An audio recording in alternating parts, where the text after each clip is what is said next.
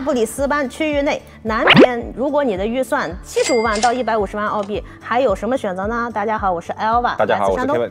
对，来自上海，来自山东。南边的话，我我们所在这个区域附近就很好选择。第一个区 a n n l y 你知道吗？对 a n n l y 其实还是挺有名的，因为它离市中心其实非常近，只有十一公里，九分钟就到了。对，它其实跟我们现在所在这个区叫乌龙嘎巴非常近啊，这两个其实紧挨着吧，一个在这儿，一个在这儿。对，都在南边，都在离 City 内城区的位置。a n n l y 现在的价格，你觉得？七十五到一百五十万，它到底多少钱？还有安德里其实大概在一百一百二左右，你是有机会可以买到，因为它那边房子相对来说还是蛮旧的，嗯，很多都是二战那个时候不能拆的房子，所以如果要买的话，其实就是买一个 location。我咋觉得这边房子还挺便宜的呢？怎么南区天天都是超过一百五十万，进 CBD 反而便宜呢？对，就是因为这个房子不能拆啊，所以还是有稍微有一些影响它的价格。好的，好。但是因为老外如果是呃白人西人的话，他们比较 prefer 就是说按照这个标准去做 renovation。就是装重新装修，是的啊，看很多其实呃一线富人区啊，Esco 或者 Hamilton 都是这样子的。都是不能拆的房子，但是大家去做做一个翻新，对对，是的，是的，嗯，你像在乌龙嘎巴，有两个专家都提到乌龙嘎巴，乌龙嘎巴其实咱们很熟，但是过去历史可能不熟。你知道这是一个前期可能移民比较扎堆的地方，所以多元文化非常聚集，什么来自俄罗斯的啦，来自这个东欧的那个教堂和移民都很多，你发现了没？这边对乌龙嘎巴从前其实是一个移民非常杂，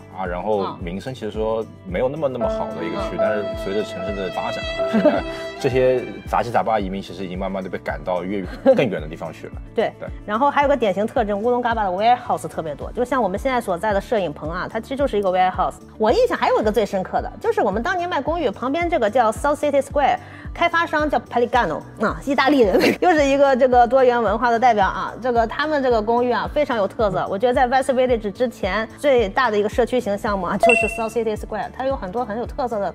咖啡店现在是这个五星级酒店还正在开建中，然后当然也有我们的二零三二年奥运会的场馆，重点场馆之一就在乌龙嘎巴。那说到这两个区呢，还有一个非常重点的项目，一定要跟大家说一下啊，就是政府重金打造的 Cross River Rail，全长十点九公里的铁路升级，从 Dutton Park 到 Boyne Hill，然后中间呢有五点九公里的地下双线隧道。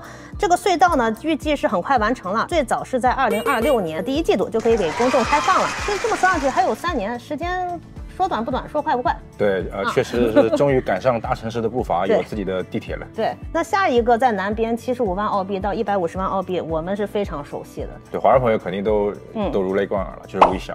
对对，为啥不是 Mansfield？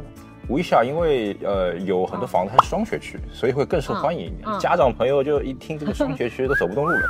对，那具体来讲，它那是一一百万出头还是七十五万真的能买到？其实它的跨度区间可能会比较大一点啊，从一百到两百，其实你都有很多呃不同的房源适合你。看房子的成色吧，还有看这个是不是单学区还是双学区。是的，这都有讲究。威夏十四公里十四分钟，其实跟 Rochdale 差不多，但是这个社区我估计啊是应该是比较。旧对不对？年龄层也相对是中年人比较多，它上面写着中位数是三十九岁，然后都是家庭为主。对，因为孩子都要上初中、高中了嘛，所以呃年纪会稍微大一点。这个 suburb 比较旧也是正常，因为它离 Garden City 很近。对，呃离商场近的区域肯定优先发展。对，这个区非常有特色的啊，就是说整个昆州的这调研，我估计就是比如说 IEA Search 里面，相对于其他区，这个区被搜索的次数是昆士兰平均次数的。二点五倍，真的是特别受欢迎。因为南区好学校还是比较稀缺。对，那旁边附近的，就有一个非常著名的 Mount Rabbit East。这也是个学区。呃，芒格 East 的话，相比之下，就是它肯定不会像威夏那样呃学区那么好了。但是呢，它离市中心还是非常近的，才九公里。离 Garden City 那个 Westfield 更近。其实现在越来越多华人朋友都开始注意到那个区了。是的，还有一些公共的东西啊，就是比如说公园很多，学校很好，这些区都紧挨着，都不会差的。那还有一个。今天是唯一说的南边是属于 Logan，一说到 Logan，大家就哇塞，治安不好，这也不好，那也不好，人不好，Logan Bogan。但是这个区就还不错，你猜一猜叫什么？S 打头的，不会是 Sheller Park？这里面推荐的是 Sheller Park，倒是。对 Sheller Park 的话，因为呃 Logan 说治安不好，大家肯定会有这个 sense，先入为主。其实治安不好，可能就是某几个个别的区域啊，嗯，那些是比较名声比较不好，但是它拉坏了整个 Logan 的整个 reputation，还是会有啊不少区，它其实呃里面住的人都还蛮不错的。那刚才说 Sheller Park，什么 Sherwood，还有 Daisy Hill，他们统一都在 M1 的东侧，然后靠近山呀、公园啊、湖啊，对。